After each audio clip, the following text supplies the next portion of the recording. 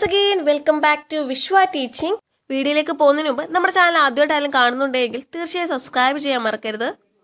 Step forms of business organisation ആണ്. അപ്പം നമുക്ക് പ്രധാനമായിട്ടും പഠിക്കാനുള്ളത് അഞ്ച് ഫോംസ് ആണ്. നോക്കിക്കേ sole proprietorship H F partnership joint stock company and cooperative society ഇങ്ങനെ അഞ്ചെണ്ണമാണ് ഉള്ളത്. ഇതിൽ ഏതെങ്കിലും ഒരെണ്ണം എക്സാമിന് ഷുവറായിട്ട് ചോദിക്കുക ചോദിക്കാറുണ്ട്. അപ്പോൾ ഈ പരീക്ഷയ്ക്ക് നമുക്കത് പ്രതീക്ഷിക്കാം. അപ്പോൾ നോക്കിയാൽ ഫസ്റ്റ് പോയിന്റ് ആണ് സോൾ പ്രൊപ്പറേറ്റർഷിപ്പ് ഇത് നമുക്ക് പെട്ടെന്ന് പഠിക്കാവുന്നതുള്ളൂ സോൾ പ്രൊപ്പറേറ്റർഷിപ്പ് ആ പേര് പോലെ തന്നെ ഒരേ ഒരു വ്യക്തി ആയിരിക്കും അത് ഓൺ ചെയ്യുന്നത്. അതുപോലെ തന്നെ ഇത്തരത്തിലുള്ള ബിസിനസ് എന്ന് പറഞ്ഞാൽ ഭയങ്കര പഴയ തരത്തിലുള്ള ബിസിനസ് ആണ് ഇത്. അപ്പോൾ തന്നെ ഒരു sentence പഠിച്ചല്ലോ. It is the oldest type of business and owned by a single person ഒരൊറ്റ വ്യക്തിയായിരിക്കും ഇത് ഓൺ ചെയ്യുന്നത്. അപ്പോൾ നോക്കി ആ ഒരു വ്യക്തി തന്നെ ആയിരിക്കും എന്ത് ചെയ്യുന്നത്? ഈ ബിസിനസ് റൺ ചെയ്യുന്നത് അല്ലേ? അപ്പോൾ ഈ ഒരു ബിസിനസ്സിൽ എന്തെങ്കിലും കടം ഉണ്ടായി കഴിഞ്ഞാൽ തന്നെ ഡെപ്സ് വല്ല ഇൻക്വയറി ചെയ്ത് തന്നെ അത് അടയ്ക്കാൻ ആരായിരിക്കും? ലയബിൾ വേറെ ആരെങ്കിലും ഉണ്ടോ? ഇല്ല. ആകെ ആ ഓണർ മാത്രമേ ഉള്ളൂ. അപ്പോൾ ആ ഓണർ ആയിരിക്കും ഈ ഒരു ലയബിലിറ്റി ഫേസ് ചെയ്യേണ്ടത് പേ ചെയ്യേണ്ടതൊക്കെ അല്ലേ? അപ്പോൾ ഇയാളുടെ ലയബിലിറ്റി എന്ന് പറയുന്നത് എന്താണ്? അൺലിമിറ്റഡ് ലയബിലിറ്റിയാണ് അപ്പോൾ സോൾ പ്രൊപ്പറേറ്റർഷിപ്പ് ഇല്ലേ എന്താണ്? സോൾ പ്രൊപ്പറേറ്ററിന്റെ ലയബിലിറ്റി എന്ന് പറയുന്നത് എന്താണ്? അൺലിമിറ്റഡ് ആണ് അല്ലേ? ഇനി ഫീച്ചേഴ്സിലേക്ക് വരികയാണ്. അപ്പോൾ നമ്മൾ ആ പഠിച്ചതുപോലെ തന്നെ സിംഗിൾ മാൻ ഓണർഷിപ്പ് അതാണ് ഒന്നാമത്. കാരണം എന്താണ്? ഒരു വ്യക്തിയായിരിക്കും അതിന്റെ ഓണർഷിപ്പ് എൻജോയ് ചെയ്യുന്നത് അല്ലേ? ഒരൊറ്റ വ്യക്തിയുള്ളൂ. അപ്പോൾ ഓൺലി വൺ മാൻ എൻജോയ് ചെയ്ത ownership of the sole proprietorship അപ്പോൾ ഒരു പോയിന്റ് പഠിച്ചല്ലോ. നെക്സ്റ്റ് ഒക്കെ അൺലിമിറ്റഡ് ലയബിലിറ്റി ആണ് നമ്മൾ പറഞ്ഞു. അതായത് എന്തെങ്കിലും ലയബിലിറ്റി ഉണ്ടായാൽ തന്നെ അല്ലെങ്കിൽ എന്തെങ്കിലും ഡെപ്സ് ഉണ്ടായാൽ തന്നെ അടയ്ക്കാൻ ആകെ ആരേ ഉള്ളൂ? ആ ഓണറേ ഉള്ളൂ. സോ അതെന്താണ്? അൺലിമിറ്റഡ് ലയബിലിറ്റി ആണ്. തേർഡ് പോയിന്റ് എന്ന് വെച്ചാൽ നോ സെപ്പറേഷൻ കാരണം എന്താണെന്ന് വെച്ച് കഴിഞ്ഞാൽ ഇപ്പോൾ ഓണർ തട്ടിപ്പോയി കഴിഞ്ഞാൽ ആ ബിസിനസ്സിന് പിന്നെ നിലനിൽപ്പുണ്ടോ? ഇല്ല. അതുകൊണ്ട് തന്നെ എന്താണ്? ബിസിനസ്സും ഓണറിനെ കൺസിഡർ ചെയ്യുന്നത് സെയിം എന്റിറ്റി ആയിട്ടാണ്. അതായത് ഇവർ തമ്മിലൊരു വ്യത്യാസം കാണുന്നില്ല. There is no distinction between the two അതുകൊണ്ട് തന്നെ എന്താണ്? നോ സെപ്പറേഷൻ നോക്കിക്കേ ownership and management are same അതായത് ആഹ് ഇതിന്റെ ഓണർ ആയിക്കോട്ടെ മാനേജർ ആയിക്കോട്ടെ എല്ലാം ആര് തന്നെയാണ് ഓണർ തന്നെയാണ് അല്ലേ? അതുകൊണ്ട് തന്നെ എന്താണ് ഓണർഷിപ്പും മാനേജ്മെന്റും തമ്മിൽ എന്തെങ്കിലും വ്യത്യാസമുണ്ടോ? ഇല്ല. So ownership and management are same next നോക്കിക്കുക profit and loss ആണ്. ഈ ഒരു ബിസിനസ്സിൽ ലാഭം ഉണ്ടായാലും നഷ്ടം ഉണ്ടായാലും അതൊക്കെ സഹിക്കാൻ ആര് മാത്രമേ ഉള്ളൂ? ഓണർ മാത്രമേ ഉള്ളൂ. So owner himself takes the profit or loss arising from the business next okay simple formalities അതായത് ഈ ഒരു ബിസിനസ് മറ്റ് ബിസിനസ്സുകളുമായിട്ട് കമ്പയർ ചെയ്യുമ്പോൾ ഇതിന്റെ ബിസിനസ് സ്റ്റാർട്ട് ചെയ്യാനാണെങ്കിലും ക്ലോസ് ചെയ്യാനാണെങ്കിലും വലിയ ഫോർമാലിറ്റീസ് ഒന്നും തന്നെ ഇല്ല. സോ സിമ്പിൾ ആൻഡ് ഈസി ആണല്ലേ? ഇതിന്റെ സ്റ്റാർട്ടിങ് അതുപോലെ തന്നെ ക്ലോസിങ് എന്ന് പറയുന്നത്. അതുകൊണ്ട് തന്നെ എന്താണ്? സിമ്പിൾ ഫോർമാലിറ്റീസ് നെക്സ്റ്റ് ഈ ഒരു സോൾ പ്രൊപ്പറേറ്ററിന്റെ അഡ്വാന്റേജ് ആണ് ഈ ഒരു സോൾ പ്രൊപ്പറേറ്റർഷിപ്പിന്റെ അഡ്വാന്റേജസ് ആണ്. ഇവരെ ഭരിക്കാനോ മാനേജ് ചെയ്യാനോ ഒന്നും ആരുമില്ല. ഇവർ തന്നെയാണ് ഓർഡർ അല്ലേ? സോ അബ്സല്യൂട്ട് ഫ്രീഡം അല്ലേ? ഇവരെല്ലാ ഫ്രീഡം ഇവർ എൻജോയ് ചെയ്യുന്നുണ്ട് അല്ലേ? നെക്സ്റ്റ് നോക്കിക്കുക നിങ്ങൾക്ക് പെട്ടെന്ന് എഴുതാൻ പറ്റുന്ന രണ്ട് പോയിന്റാണ് നമ്മൾ എന്താണ് ഫീച്ചേഴ്സ് പഠിച്ചപ്പോൾ പറഞ്ഞു സിമ്പിൾ ഫോർമാലിറ്റീസ് അല്ലേ? സ്റ്റാർട്ട് ചെയ്യാനും ക്ലോസ് ചെയ്യാനും വല്ല ബുദ്ധിമുട്ടുണ്ടോ? ഇല്ല. സോ ഈസി സ്റ്റാർട്ടിങ്ങും അതുപോലെ തന്നെ ഈസി ക്ലോഷർ കണ്ടോ? Easy starting and easy closure അതായത് കുറച്ച് മാത്രമേ ഫോർമാലിറ്റീസ് ഉള്ളൂ. സോ സിമ്പിൾ ഫോർമാലിറ്റീസ് ആയതുകൊണ്ട് തന്നെ ഇവർക്ക് പെട്ടെന്ന് സ്റ്റാർട്ട് ചെയ്യാനും അതുപോലെ തന്നെ എന്താണ്? പെട്ടെന്ന് ക്ലോസ് ചെയ്യാനും പറ്റുന്നതാണ്. പിന്നെ നോക്കിക്കേ ലെസ് എക്സ്പെൻസീവ് കാരണം ഇവർക്ക് ശമ്പളം കൊടുക്കേണ്ട അങ്ങനെയുള്ള ഒരു കാര്യവും ഇല്ല അല്ലേ? കാരണം ഒരാളേ ഉള്ളൂ. അതായത് ഓണർ മാത്രമേ ഉള്ളൂ. അതുകൊണ്ട് തന്നെ എന്താണ്? ഇവർക്ക് കമ്പാരിറ്റീവ്ലി ലെസ് എക്സ്പെൻസീവ് ആണ് അല്ലേ? എന്നൊക്കെ ഫിഫ്ത്ത് പോയിന്റ് ആണ് ടാക്സ് ബെനിഫിറ്റ് ഈ ഒരു സോൾ പ്രൊപ്പറേറ്റർഷിപ്പ് ചില ടാക്സ് ബെനിഫിറ്റുകൾ എൻജോയ് ചെയ്യുന്നുണ്ട്. മറ്റ് ബിസിനസ് എന്റിറ്റീസുമായിട്ട് കമ്പയർ ചെയ്ത് നോക്കുമ്പോൾ പിന്നെ നെക്സ്റ്റ് നോക്കിയാൽ പ്രോഫിറ്റ് ആണ്. എന്തായാലും ഈ ഒരു ബിസിനസ്സിൽ പ്രോഫിറ്റ് ഉണ്ടായിക്കഴിഞ്ഞാൽ വേറെ ആർക്കും വീതിച്ചു കൊടുക്കേണ്ട കാര്യമില്ല അല്ലേ? അതുകൊണ്ട് തന്നെ എത്ര പ്രോഫിറ്റ് ജനറേറ്റ് ചെയ്താലും ആ എന്റയർ പ്രോഫിറ്റിനും എൻജോയ് ചെയ്യുന്ന അല്ലെങ്കിൽ എടുക്കുന്നത് ആരായിരിക്കും? ഓണർ തന്നെ ആയിരിക്കും. നെക്സ്റ്റ് ലിമിറ്റേഷൻ ആണ്. നോക്കിയാൽ ഇവർക്ക് അൺലിമിറ്റഡ് ലയബിലിറ്റി നമ്മൾ ഫീച്ചേഴ്സിലും പഠിച്ചു ആ സോൾ പ്രോപ്പറേറ്റർഷിപ്പിന്റെ മീനിങ്ങിലും പഠിച്ചല്ലേ അപ്പോൾ അൺലിമിറ്റഡ് ലയബിലിറ്റി ആണ്. എന്ത് ലയബിലിറ്റി ഇല്ലെങ്കിൽ ഡെപ്സ് ഉണ്ടായാലും റിസ്ക് ഉണ്ടായാലും എല്ലാം ആരായിരിക്കും ഏറ്റെടുക്കുന്നത്? സോ ഓണർ തന്നെ ആയിരിക്കും അല്ലേ? നെക്സ്റ്റ് നോക്കിയാൽ ലാക്ക് ഓഫ് ക്യാപിറ്റൽ അതായത് നോക്കിയത് sole trader has limited source to raise capital required for the business ആ ഒരു ബിസിനസ്സിന് ആവശ്യമായിട്ടുള്ള ക്യാപിറ്റൽ റേസ് ചെയ്യാൻ വേണ്ടി ഇവർക്ക് കാരണം ഇവർ ഒറ്റയ്ക്കുള്ള ഒരു പാർട്ട്ണറോ ഒന്നുമില്ല അല്ലേ? അപ്പോൾ ഇവർക്ക് അത് റേസ് ചെയ്യാൻ ലിമിറ്റഡ് സോഴ്സസ് ഉള്ള ഒന്നെങ്കിൽ അവരുടെ ഫാമിലി ആയിരിക്കും അല്ലെങ്കിൽ ബാങ്ക് ആയിരിക്കും അല്ലേ? അപ്പോൾ limited സോഴ്സസേ അവർക്കുള്ളൂ.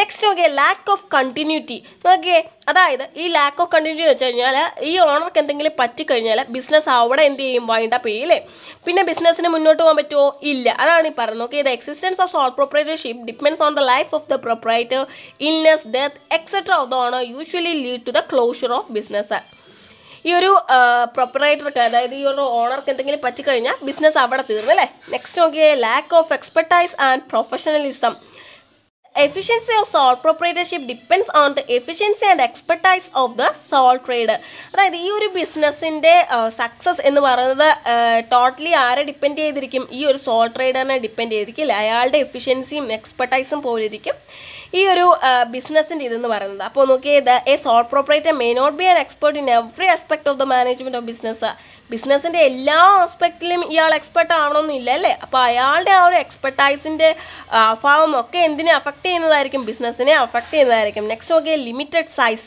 the expansion and growth of business depends completely on a single person ഈ ഒരു ബിസിനസ്സിന്റെ എക്സ്പാൻഷനും ഗ്രോത്തും എല്ലാം ആരെ ഡിപ്പെൻഡ് ചെയ്തിരിക്കും? ആ ഒരു ഓണറിനെ തന്നെ ബേസ് ചെയ്തിരിക്കും അല്ലേ?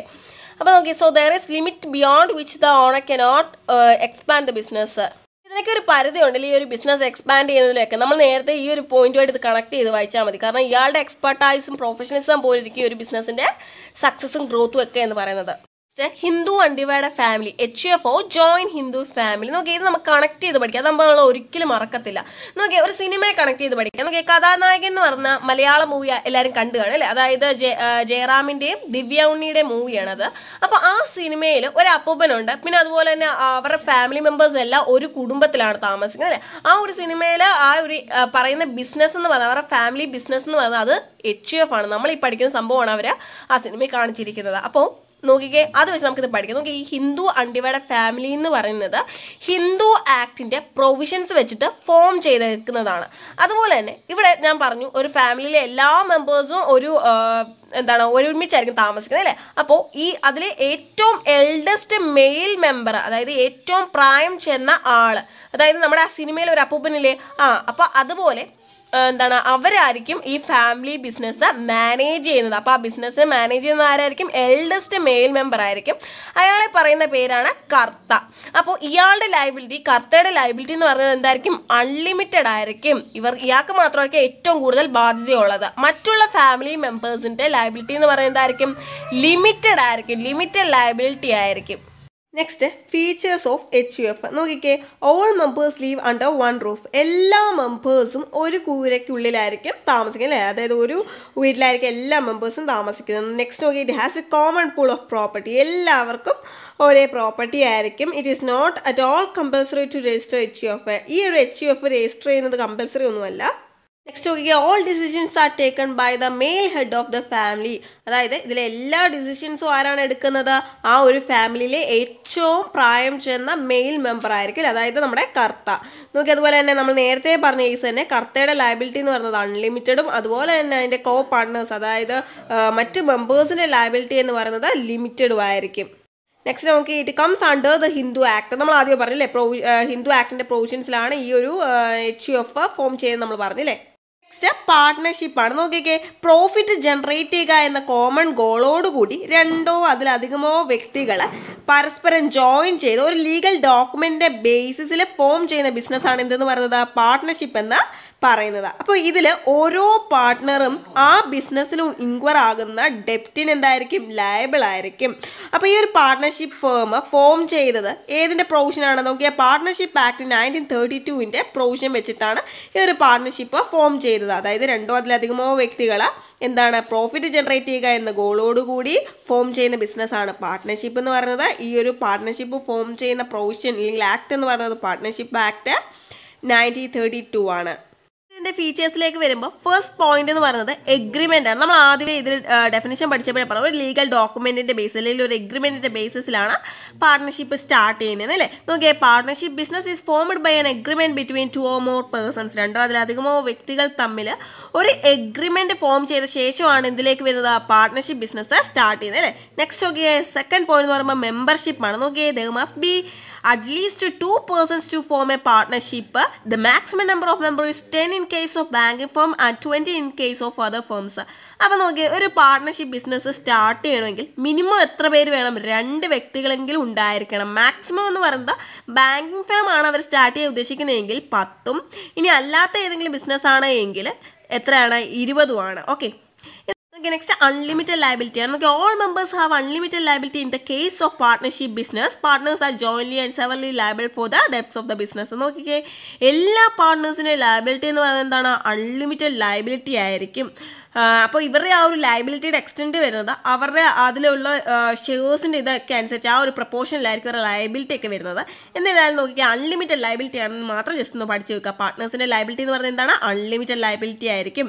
നെക്സ്റ്റ് നോക്കിയാൽ collective management a partnership business is jointly managed by the partners അതായത് പാർട്ണർഷിപ്പ് എന്ന് പറയുമ്പോൾ എല്ലാവരും അതിൽ തുല്യ പങ്കാളികളായിരിക്കും അല്ലേ? അപ്പോൾ അതിൽ മാനേജ് ചെയ്യുന്ന കാര്യത്തിലാണെങ്കിൽ അവരെന്തായിരിക്കും? ജോയിൻലി ആയിരിക്കും മാനേജ് ചെയ്യുന്നത് അല്ലേ? All the partners are equal responsible for the operations of the firm ഫേമിന്റെ ഓപ്പറേഷൻസിന് എല്ലാ പാർട്ട്നേഴ്സും തുല്യമായിട്ട് റെസ്പോൺസ് തുല്യ ഉത്തരവാദിത്വമായിരിക്കും എല്ലാവർക്കും. നെക്സ്റ്റ് നോക്കിയാൽ പ്രോഫിറ്റ് ഷെയറിംഗ് ആണ്. Profit or loss of the firm are shared among all the partners in the agreed ratio ആ ഒരു പറഞ്ഞിരിക്കുന്ന റേഷ്യോ അനുസരിച്ച് അല്ലെങ്കിൽ എഗ്രിമെന്റിൽ നേരത്തെ പറഞ്ഞിരിക്കുന്ന ആ ഒരു റേഷ്യോ വെച്ചിട്ട് ആ പാർട്ട്നേഴ്സ് ആ ഒരു ഫേമിൽ നിന്നുണ്ടാകുന്ന പ്രോഫിറ്റ് ആണെങ്കിലും നഷ്ടമാണെങ്കിലും തുല്യമായിട്ട് ഡിവൈഡ് ചെയ്യുന്നു. ആ ഒരു റേഷ്യോ വെച്ചിട്ട് ഡിവൈഡ് ചെയ്യുന്നു. അഡ്വാന്റേജസിലേക്ക് വരികയാണെങ്കിൽ ഫസ്റ്റ് പോയിന്റ് നോക്കിയാൽ മൊബിലൈസേഷൻ ഓഫ് ക്യാപിറ്റൽ ആണ്. അതായത് ഇവിടെ ക്യാപിറ്റൽ മൊബിലൈസ് ചെയ്യാൻ സോൾ പ്രൊപ്പറേറ്റർഷിപ്പിനേക്കാൾ കമ്പയർ ചെയ്ത് നോക്കുമ്പോൾ നമ്മുടെ പാർട്ട്ണർഷിപ്പ് ഫേമിന് ലാർജ് എമൗണ്ട് ഓഫ് ക്യാപിറ്റൽ എന്ത് ചെയ്യാൻ പറ്റും? റേസ് ചെയ്യാൻ പറ്റും അല്ലേ?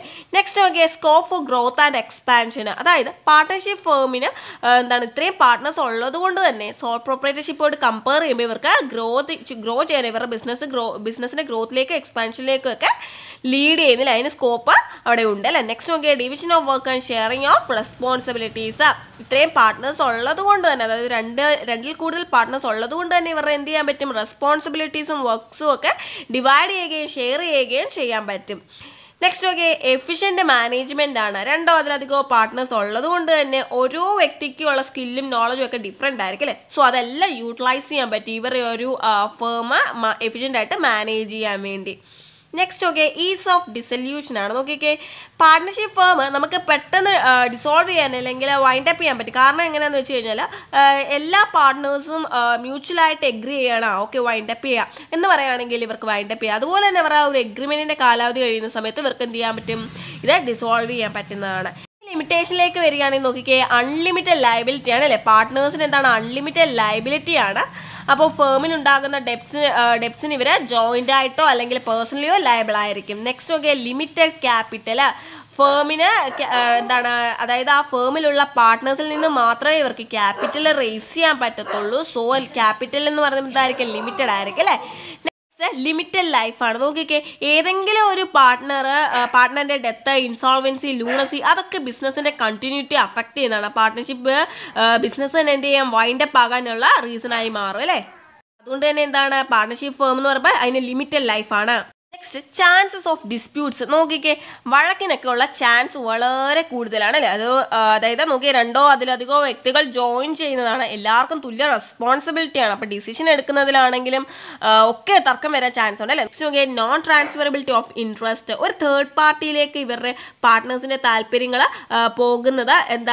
എല്ലാ പാർട്ട്നേഴ്സിനും മ്യൂച്വലായിട്ട് സമ്മതിക്കുകയാണെങ്കിൽ മാത്രമേ അല്ലെങ്കിൽ എല്ലാ പാർട്ട്നേഴ്സിന്റെ അനുവാദത്തോടു കൂടി മാത്രമേ ഒരു തേർഡ് പാർട്ടി ഇവർക്ക് തേർഡ് പാർട്ടിയിലേക്ക് ഇവർക്ക് ഇൻട്രസ്റ്റ് ഒക്കെ ട്രാൻസ്ഫർ ചെയ്യാൻ പറ്റത്തുള്ളൂ നെക്സ്റ്റ് ടൈപ്പ് ഓഫ് പാർട്ട്ണർഷിപ്പ് ആണ്. അതിന് മൂന്നായിട്ട് മൂന്ന് പാർട്ട്ണർഷിപ്പുകളാണ് മെയിനായിട്ടുള്ളത് general partnership limited partnership limited liability partnership ആദ്യത്തേതാണ് ജനറൽ പാർട്ട്ണർഷിപ്പ് ഇതെന്ന് പറയുമ്പോൾ നമ്മൾ നേരത്തെ ആ പാർട്ട്ണർഷിപ്പിന്റെ ഡെഫിനേഷൻ പഠിച്ചില്ല. അതുപോലെ തന്നെ ഉള്ളൂ. അതായത് എന്താണ്? നമുക്ക് ഇവർക്ക് ഓരോ മെമ്പേഴ്സിന് അതായത് ഓരോ പാർട്ട്നേഴ്സിനും അൺലിമിറ്റഡ് ലയബിലിറ്റി ആയിരിക്കും. ഇവർ ആ ഒരു ബിസിനസ്സിൽ നടക്കുന്ന എല്ലാ ഓപ്പറേഷൻസിനും ഈക്വലി റെസ്പോൺസിബിൾ ആയിരിക്കും. അവരുടെ പ്രോഫിറ്റ് ആണെങ്കിലും ലോസ് ആണെങ്കിലും അവർ എഗ്രീഡ് റേഷ്യോയിൽ ഷെയർ ചെയ്യുന്നു. നെക്സ്റ്റ് ലിമിറ്റഡ് പാർട്ട്ണർഷിപ്പ് ആണ്.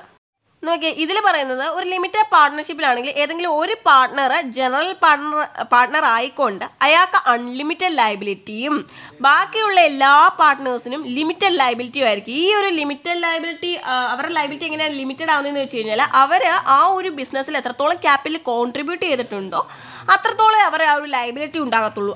അതുകൊണ്ട് തന്നെ എന്താണ് അവർക്ക് വലിയ കൺട്രോൾ ഒന്നും ഈ ഫേമിൽ കാണത്തില്ല ഈ ഒരു ലിമിറ്റഡ് ലയബിലിറ്റി അതായത് limited പാർട്ട്നേഴ്സിന് okay next limited liability partnership നോക്കിക്കേ ഇത് കുറേ കുറച്ച് പേഴ്സണൽ ലയബിലിറ്റി പ്രൊട്ടക്ഷൻസ് ഒക്കെ പാർട്ട്നേഴ്സിന് കൊടുക്കുന്നുണ്ട്. അതായത് മറ്റ് പാർട്ട്നേഴ്സിന്റെ ഭാഗത്തു നിന്നും ഉണ്ടാകുന്ന നെഗ്ലിജൻസ് ഒന്നും എന്താണ് ബാക്കിയുള്ള പാർട്ട്നേഴ്സ് ലയബിൾ ആയിരിക്കത്തില്ല. അതുപോലെ തന്നെ ഈ ഒരു ഇവരുടെ ലയബിലിറ്റീസ് അതായത് ബിസിനസ്സിൽ ഇൻക്വയർ ആകുന്ന ഡെപ്സും ലയബിലിറ്റീസും ഒക്കെ മീറ്റ് ചെയ്യാൻ വേണ്ടി ഈ ഒരു പാർട്ട്നേഴ്സിന്റെ പേഴ്സണൽ ലയബിലിറ്റീസ് അല്ലെങ്കിൽ സോറി പേഴ്സണൽ അസറ്റ്സ് ഒന്നും യൂസ് ചെയ്യാൻ പറ്റത്തില്ല.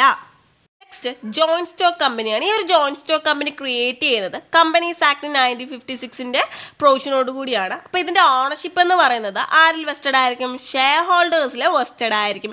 ഈ ഒരു ജോയിന്റ് സ്റ്റോക്ക് കമ്പനി മാനേജ് ചെയ്യുന്നത് ഈ ഷെയർ ഹോൾഡേഴ്സിന്റെ റെപ്രസെന്റേറ്റീവ്സ് ആയിട്ടുള്ള ബോർഡ് ഓഫ് ഡയറക്ടേഴ്സ് ആയിരിക്കും ഇത് മാനേജ് ചെയ്യുന്നത്. അതുപോലെ തന്നെ എന്താണ് ഈ ഒരു ഇൻഡിവിജ്വൽ ഷെയർ ഹോൾഡേഴ്സിൽ നിന്നും ലഭിക്കുന്ന ക്യാപിറ്റലിന്റെ കോൺട്രിബ്യൂഷൻ ഉണ്ടല്ലോ. അതൊരു കോമൺ അക്കൗണ്ടിലേക്കായിരിക്കും ഇവർ ഇവന്റെ ക്യാപിറ്റലെ പുട്ട് ചെയ്യുന്നത്. അതുപോലെ തന്നെ എല്ലാ ഷെയർ ഹോൾഡേഴ്സിനെയും കമ്പനിയുടെ എല്ലാ ഷെയർ ഹോൾഡേഴ്സിനെയും ലയബിലിറ്റി എന്ന് പറയുന്നത് എന്തായിരിക്കും? ലിമിറ്റഡ് ആയിരിക്കും. ലിമിറ്റഡ് ലയബിലിറ്റി ഇവർക്ക് ഉള്ളൂ. അതുപോലെ തന്നെ എന്താണ്? ഇവർക്ക് എന്താണ്? ഷെയർസ് സെല്ല് ചെയ്യുകയോ ട്രാൻസ്ഫർ ചെയ്യുകയോ ചെയ്യാം. കാരണം അതിനുള്ള ഫ്രീഡം ഇവർക്ക് ഉണ്ടാ ഉണ്ടായിരിക്കുന്നതാണ്. ഓക്കെ നെക്സ്റ്റ് ഇതിന്റെ ഫീച്ചേഴ്സിലേക്ക് വരുമ്പോൾ ഫസ്റ്റ് ആണ് ഇൻകോർപ്പറേറ്റഡ് അസോസിയേഷൻ നോക്കി ഈ ഒരു joint stock company incorporated association എന്ന് പറയുന്നു. കാരണം കൺസേൺഡ് അതോറിറ്റീസിൽ നിന്നും രജിസ്ട്രേഷൻ എടുത്ത ശേഷമാണിത് നിലവിൽ വരുന്നത് അല്ലേ? കം ടു എക്സിസ്റ്റൻസ് അല്ലേ? നെക്സ്റ്റ് ആണ്. പബ്ലിക് ലിമിറ്റഡ് കമ്പനി ആണ് എങ്കിൽ അവർക്ക് മിനിമം ബിസിനസ് സ്റ്റാർട്ട് ചെയ്യണമെങ്കിൽ ഏഴ് പേരെങ്കിലും ഉണ്ടായിരിക്കണം. ഇനി മാക്സിമം എന്ന് പറയുന്നത് അവിടെ ഒരു ലിമിറ്റഡ് നമ്പർ ഇല്ല. എത്ര വേണം അൺലിമിറ്റഡ് ആണ്. എത്ര മെമ്പേഴ്സിന് വേണമെങ്കിലും വന്നാൽ ചേരാം. ആ സന്ധി പ്രൈവറ്റ് കമ്പനിയിലേക്ക് വരികയാണ് എങ്കിൽ മിനിമം രണ്ട് വ്യക്തികളും മാക്സിമം എന്ന് പറയുന്നത് അൻപതും ആയിരിക്കും. Okay third point artificial legal person ആണ്. അതായത് ഇത്തരത്തിലുള്ള കമ്പനികൾ ലോയാൽ ക്രിയേറ്റ് ചെയ്യപ്പെടുന്നത് ആയതുകൊണ്ട് തന്നെ എന്താണ്? ഇതിനെ ആർട്ടിഫിഷ്യൽ പേഴ്സൺ ആയിട്ടാണ് കൺസിഡർ ചെയ്യുന്നത്. നോക്കി നെക്സ്റ്റ് സെപ്പറേറ്റ് ലീഗൽ എന്റിറ്റി കമ്പനിയെ നമ്മൾ ട്രീറ്റ് ചെയ്യുന്നത് സെപ്പറേറ്റ് ലീഗൽ എന്റിറ്റി ആയിട്ടാണ്. അതായത് അതിന്റെ ഓണർ വേറെ വേറെ അതുപോലെ തന്നെ എന്റിറ്റി വേറെ. അങ്ങനെ ആയിരിക്കും ട്രീറ്റ് ചെയ്യുന്നത് കമ്പനിയുടെ ആക്ട്സിന് ഒരിക്കലും ഈ ഷെയർ ഹോൾഡേഴ്സ് ലയബിൾ ആയിരിക്കത്തില്ല. അതുപോലെ തന്നെ എന്താണ് എന്താണ് ഷെയർ ഹോൾഡേഴ്സിന് ആക്ടിന് കമ്പനി ലയബിൾ ആയിരിക്കത്തില്ല. അതുപോലെ തന്നെ പറയുകയാണെങ്കിൽ ഈ കമ്പനിയുടെ ലൈഫ് ഉണ്ടല്ലോ. അത് ഈ മെമ്പേഴ്സിന്റെ ഡെത്തോ ഇൻസോൾവൻസോ ഒന്നും ഈ കമ്പനിയുടെ ലൈഫിനെ ബാധിക്കുന്നില്ല കമ്പനി മുന്നോട്ട് തന്നെ പോയിക്കൊണ്ടിരിക്കും. നെക്സ്റ്റ് കണ്ടിന്യൂസ് എക്സിസ്റ്റൻസ് ആണ്. ഈ ഒരു സോൾ പ്രോപ്പറേറ്റർഷിപ്പോ പാർട്ട്ണർഷിപ്പിൽ നിന്നും ഒക്കെ വ്യത്യസ്തമായിട്ട് ഈ ഒരു ജോയിന്റ് സ്റ്റോക്ക് കമ്പനിക്ക് പെർപെക്ച്വൽ സക്സഷനും അതുപോലെ തന്നെ കണ്ടിന്യൂസ് എക്സിസ്റ്റൻസും ഉണ്ട്. അതായത് ഷെയർ ഹോൾഡേഴ്സിന്റെ ഡെത്തോ ഇൻഷുറൻസ് നേരത്തെ പറഞ്ഞ കേസ് തന്നെ അവർ അതൊന്നും ഇതിനെ ബാധിക്കുന്നതല്ല. നെക്സ്റ്റ് ഒക്കെ കോമൺ സീൽ എനിക്ക് കോമൺ സീൽ ഉണ്ടല്ലേ? അതിന്റെ എല്ലാ ട്രാൻസ് അതായത് മറ്റുള്ളവരുമായിട്ടുള്ള അതിന്റെ എല്ലാ ട്രാൻസാക്ഷനും വാലിഡേറ്റ് ചെയ്യുന്നതിൽ വാല്യൂ കൊടുക്കുന്ന ഒരു കോമൺ സീൽ ഉണ്ടായിരിക്കും അല്ലേ? ഈ ഒരു കോമൺ സീൽ എന്ന് പറയുന്ന ഒരു മെറ്റാലിക് സീലാണ് അതുപോലെ തന്നെ ഈ ഒരു കോമൺ സീൽ എന്ന് പറയുന്നത് കമ്പനിയുടെ സിഗ്നേച്ചറിന് തുല്യമാണ്. ട്രാൻസ്ഫറബിലിറ്റി ഓഫ് ഷെയർസ് ആണ്. കമ്പനിയുടെ ഷെയർസ് എന്ന് പറയുന്നത് ട്രാൻസ്ഫറബിൾ ആണ്. പക്ഷേ ഇതിൽ തന്നെ കുറച്ച് റെസ്ട്രിക്ഷൻസ് ആണ്. അതായത് പബ്ലിക് കമ്പനി ആണെങ്കിൽ ഈസിലി ഷെയർസ് ഒക്കെ ട്രാൻസ്ഫർ ചെയ്യാം. പക്ഷേ പ്രൈവറ്റ് കമ്പനി ആണെങ്കിൽ ചില റെസ്ട്രിക്ഷൻസ് അവിടെ ഉണ്ട്. എട്ടാമത്തെ പോയിന്റ് നോക്കിയാൽ ലിമിറ്റഡ് ലയബിലിറ്റി ആണ്. നോക്കിക്കേ. ഷെയർ ഹോൾഡേഴ്സിന്റെ ലയബിലിറ്റി എന്ന് പറയുന്നത് ലിമിറ്റഡ് ആയിരിക്കും.